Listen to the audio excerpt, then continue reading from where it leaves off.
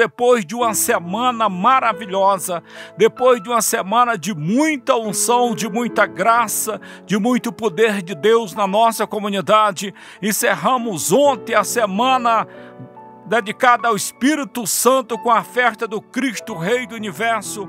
Eu quero abraçar você que nos acompanhou durante toda essa semana que passou, você que acompanhou a nossa programação pelo sistema Renascidos em Pentecoste, você que teve ontem aqui na festa do Cristo Rei do Universo, muito obrigado pela sua presença, muito obrigado pela sua ajuda graças a Deus, nessa segunda-feira, na unção do Espírito Santo, nós estamos aqui para continuar essa evangelização sem fronteira, diretamente dessa terra de Nossa Senhora da Primavera. Que o Senhor te conduza, que o Senhor nos abençoe nessa segunda-feira, que possamos verdadeiramente ser curado, renovado, abençoado. Esse é um pedido para todos os dias, porque todos os dias nós precisamos da graça graça de Deus. E agora te convido a louvar o Senhor, a bem dizer o Senhor por tudo que Ele tem feito na nossa vida. Diga comigo, Senhor Jesus Cristo, Filho de Deus, eu quero te louvar, eu quero te bem dizer, eu quero te engrandecer pela vossa presença, pela vossa bondade por essa segunda-feira, muito obrigado. Pela graça do vosso Espírito na minha vida, muito obrigado. Por tudo que tens realizado na minha vida, muito obrigado. Pela sua misericórdia, muito obrigado. Pela força do vosso Espírito na minha vida, muito obrigado. Por tudo que o Senhor tem feito na minha vida, muito obrigado. Por tudo que o Senhor está fazendo no nosso país, na nossa cidade, na nossa família e na nossa comunidade, muito obrigado. Obrigado pela vossa fidelidade, pela vossa misericórdia, pela vossa graça, pelo vosso poder.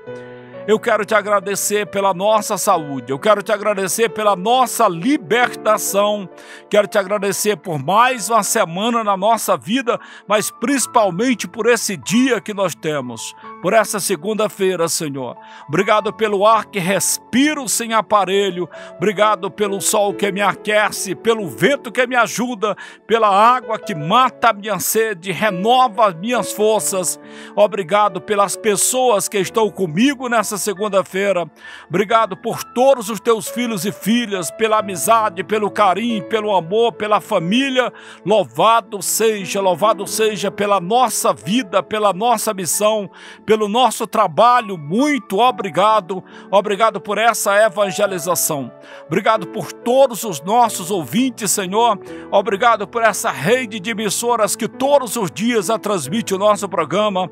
Obrigado, Senhor Jesus Cristo, pelos milhares e milhares milhares de ouvintes que temos espalhado pelo mundo inteiro. Eu quero te louvar, eu quero te bendizer pelo sistema Renascidos em Pentecoste. Obrigado pelos dons que o Senhor nos dá pelos dons que o Senhor nos deu durante todo esse tempo de evangelização. Obrigado, Senhor Jesus Cristo, porque nesse mês eu completo 26 anos de ordenação. Eu quero te louvar porque o Senhor me deu coragem, determinação, me deu força, me sustentou no combate. Eu quero te louvar por isso. Eu quero te agradecer porque tu és o pastor, tu és o meu pastor, tu és o meu Senhor, tu és o meu Salvador. Eu quero te louvar pelo dom da esperança, pelo dom da alegria, pela vossa misericórdia na minha vida. Eu te exalto, eu te glorifico e eu te bendigo por tudo que o Senhor tem feito na minha vida. Obrigado pelo combate que temos que combater todos os dias, Senhor. Eu quero te louvar pela derrota de Satanás na nossa vida. Foi derrotado e vai ser sempre derrotado no nome poderoso de Jesus Cristo. Quero te louvar porque eu sei que todas as portas que se fecharam vão se abrir, hão de se abrir no vosso poder e na vossa misericórdia. Pela vossa fidelidade, pela vossa misericórdia, muito obrigado. Tu és o meu Senhor, tu és o meu redentor, tu és o meu Salvador. Eu quero te engrandecer, eu quero te bendizer porque eu sei em quem coloquei a minha esperança. Obrigado, Senhor Jesus Cristo, porque tu és o meu Deus, porque tu és o Salvador, porque tu és o nosso redentor, porque tu és o dono da nossa história e da nossa vida. Eu quero te glorificar Eu quero te bendizer pela vida, pela esperança, pela confiança, pela alegria, pela renovação e pela salvação. Muito obrigado. Obrigado por todas as famílias, Senhor, que estão lutando por algo melhor eu quero te agradecer pelos que lutam, Senhor, para que o nosso país não venha cair numa escuridão, numa perdição. Eu quero te louvar por todas as pessoas que não perderam a esperança, que não perderam a fé, que sonham em algo melhor para as suas vidas, para, para o seu país, para as suas cidades e para todos nós. Senhor Jesus Cristo, eu te louvo. Senhor Jesus Cristo, eu te bendigo. Senhor Jesus Cristo, eu te agradeço. Senhor Jesus Cristo, louvado seja, bendito seja, engrandecido seja, hoje e sempre na minha vida. Queridos irmãos e irmãs, acompanhe a nossa programação Venha participar das nossas celebrações aqui no Centro de Evangelização. Venha conhecer essa terra de Nossa Senhora da Primavera. Conheça a nossa comunidade, conheça o carisma da comunidade renascida em Pentecoste. É fácil você entrar em contato, nossos números estão sempre aí, nossas redes sociais você já conhece. Então venha, porque se Deus quiser, Ano que vem nós vamos ter encontros vocacionais mensalmente. Mensalmente nós vamos ter encontros vocacionais. Venha conhecer o carisma Renascidos em Pentecoste. Moisés fala para o povo. Em seguida fala para Josué dizendo: Coragem, sede forte, nada vos atormorize e não os temais, porque é o Senhor vosso Deus que marchará à vossa frente, e ele não vos deixará e não vos abandonará. Isso que Moisés diz para o povo. Coragem, diz Moisés. Não tenhais medo, diz Moisés. Confie no Senhor, porque é o Senhor que caminhará na vossa frente. É o Senhor que estará na vossa frente como um forte guerreiro. É o Senhor que lutará por vós. É o Senhor que vos abençoará. Queridos irmãos e irmãs, eu não sei como você está vivendo essa segunda-feira. Não sei o que está te acontecendo nessa segunda-feira, mas a palavra de Deus vem dizer para mim e para você hoje: não tenhas medo. Tenha coragem, diz Moisés. Sede forte, sede determinado, sede corajoso, sede esperançoso e não tenhais medo. Nada vos atormorize. Por que Moisés está falando isso? Porque ele conhece o poder de Deus, porque ele sabe quem é esse Deus ele tem 40 anos que conheceu esse Deus. Ele sabe que Deus é poderoso, que Deus é santo e que Deus faz, que Deus protege, que Deus levanta e que Deus ressuscita, que para Deus não tem limite. Moisés teve a experiência de se encontrar com esse Deus no Monte Sinais. Moisés viu uma sarça ardente que não se consumia. Moisés ouviu a voz desse Deus e atendeu o chamado desse Deus. Moisés volta para o Egito depois de 40 anos fugindo de Faraó. Volta com bastão na mão, Deus no coração, sabendo que a partir de agora ele lutaria e arrasaria com Faraó e com seu exército. Ele só tem o poder de Deus enquanto Faraó tem arma, espada e homens. E nós sabemos e conhecemos a história, a história do povo de Deus no Egito. As pragas que o Senhor usou Moisés para jogar no Egito. Fez a água virar sangue. Fez os cafanhotos comer toda a lavoura deles. Fez três dias de escuridão e só tinha luz aonde tinha um hebreu descendente de Abraão. Ele viu a morte de todos os primogênitos E ele viu aquele faraó de duro coração e todo-poderoso clamar e lhe pedir que levasse o povo, tirasse o povo do Egito. Moisés viu os milagres e prodígios de Deus. Moisés viu quando o mar se dividiu em duas partes e eles passaram a pé enxuto. Enquanto o cavalo e cavaleiro de Faraó, junto com ele, se afundaram nas águas profundas, no meio das correntezas. Ele viu quando aquela rocha brotou água, da rocha brotou água, porque no nome do Senhor ele bateu naquela rocha. Ele viu que durante 40 anos o maná caiu todos os dias, um alimento maravilhoso, tendo tudo que era necessário para o sustento humano. Ele viu quando a nuvem de cordiniz entrou no acampamento porque eles pediram carne e Moisés orou pedindo o Senhor.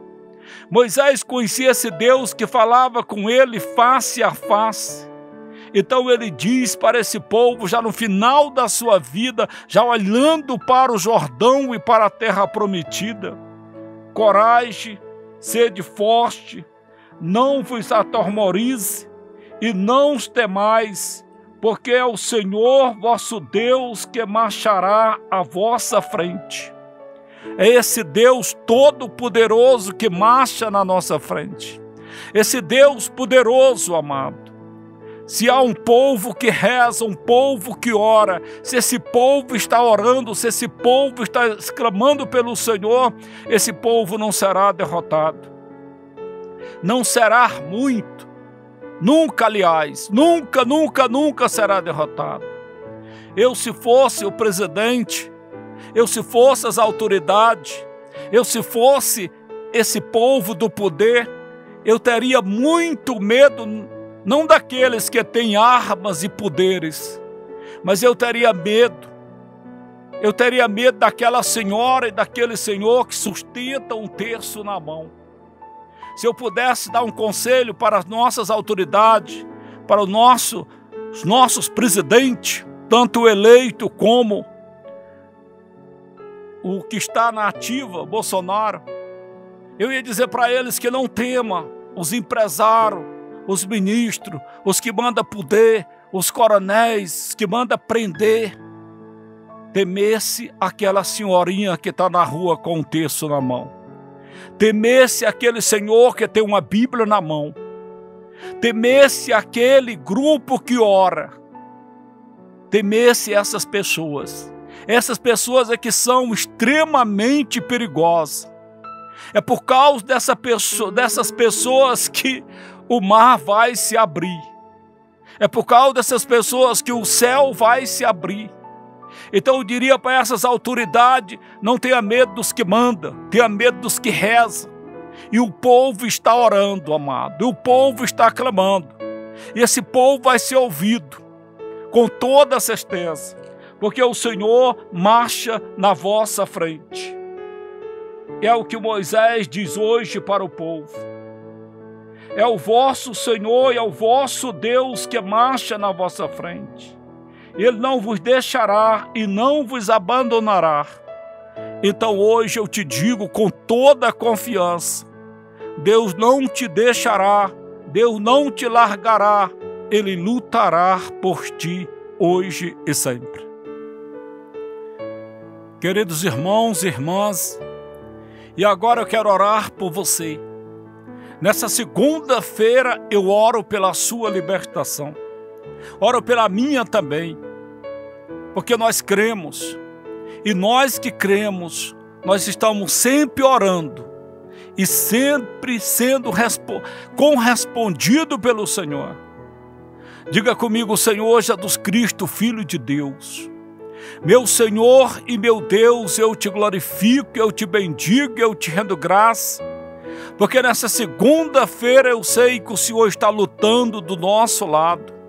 Sei que o Senhor está nos abençoando, nos renovando, nos conduzindo e nos, nos tornando vitoriosos.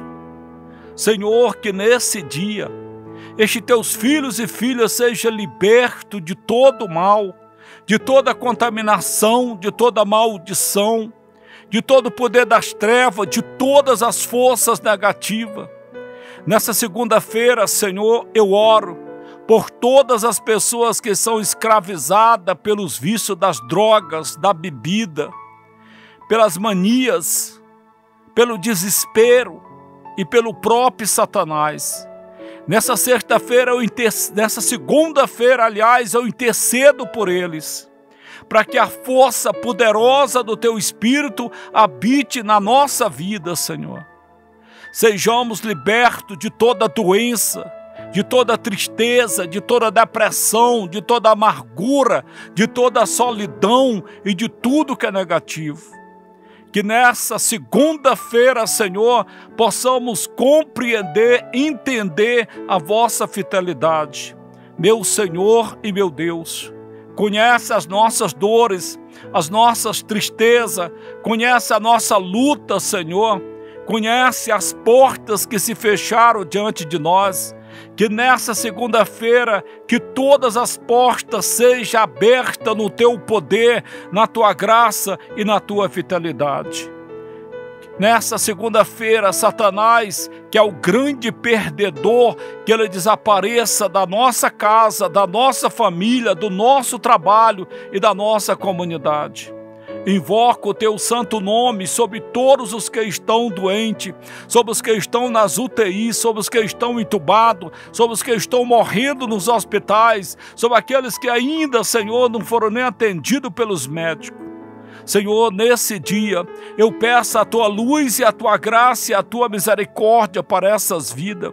Eu peço que toque na vida deles agora e arrebente com teu amor profundo, Senhor que no teu amor eterno eles entendam que tu és um Deus poderoso que ordena Lázaro que saia para fora depois de quatro dias morto, enquanto a sua irmã Marta já dizia: ele cheira mal. Senhor Jesus Cristo, Filho de Deus, você que mandou Talita se levantar, porque ela já estava morta e todos diziam: ela já morreu. Eu sei que nessa, nesse dia, nessa segunda-feira, você pode fazer um milagre na vida dessa pessoa desesperada, nessa pessoa que está fazendo cirurgia, Senhor, nessa pessoa que está, Senhor, já entre a vida e a morte, nesse momento eu clamo por ti e eu peço a tua luz e a tua força e a tua misericórdia. Meu redentor e meu salvador, é no teu santo nome, é no teu poder, é na vossa graça, é na vossa misericórdia que nós vamos sair do abismo. Eu sei, Senhor, eu sei que a tua palavra é vida, eu sei que a tua palavra é viva e eu sei que nesse dia a tua palavra veio ao nosso encontro e nos disse: seja forte, seja corajoso, porque Deus marcha na vossa frente. E eu tomo posse disso. Eu tomo posse, Senhor, por mim e por todos os que oram por mim nesse dia.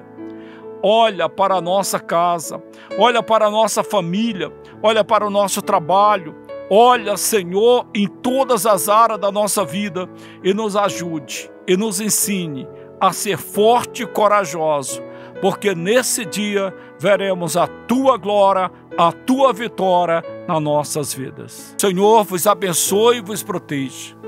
Que o Senhor volte o seu olhar para vós e tenha misericórdia de vós. Que o Senhor volte o seu rosto para vós e vos dê a paz. Que o Senhor vos abençoe com o nome do Pai, do Filho e do Espírito Santo. Tenhamos um grande dia e que o Senhor nos conduza.